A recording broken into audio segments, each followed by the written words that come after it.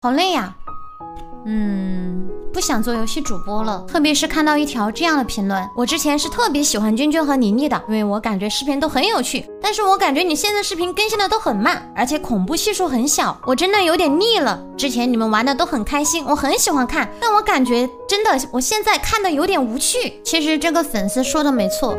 我现在更新视频的频率的确是没有之前那么的快了，可能是脑子里面空空如也吧。我觉得很多游戏博主都会出现这种情况，就是不知道更新什么内容会获得大家的喜爱了。另外一个原因就是现在的迷你世界真的再也不是从前的迷你世界了，它非常多的 bug，非常的卡顿，游戏体验感几乎为零。像我和妮妮经常联机录一些恐怖解密，但由于现在的卡顿问题非常多，所以说会导致我们两个人意外死亡。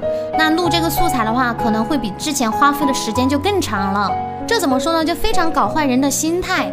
官方好像也不太想要修复这些 bug，每天都想着出一些新皮肤。特别是我自己的这个账号，真的是卡的让我怀疑人生。后面我去找官方处理了一下，可是他们帮我解决过后，虽然会好转一点点，但是呢，还是会出现卡顿。就比如说你在这里跑着跑着，突然它就卡住了，卡个几秒钟。你说哪有一款游戏能这个样子啊？经过我努力的发现，迷你世界现在这么卡顿，主要有两个功能，非常的鸡肋，一点用处都没有，反而会导致我们的游戏特别的卡。那么第一个就是这个魅力值，魅力值是通过收到这些礼物从而达到的。娟娟现在有十万了，可是这些魅力值毫无作用啊，既没有办法兑换皮肤，也没有办法兑换迷你币或者是迷你豆，那纯纯就是给官方送钱，对吧？所以粉丝们不要再给我送这些礼物了，有这个迷你币，你可以自己买点皮肤都香。最离谱的是。这些小花花，就算不是我的好友也能送，相当于有两百多万粉丝都可以给我送这些花花。你们可以想象一下，娟娟的账号有多卡。另外一个功能就是为什么要出现可以保留十四天内的好友申请？对于我们这种主播来说，相当于我们这个申请列表每一分钟就有新的弹出来。我的天呐，我真的是玩个彩云。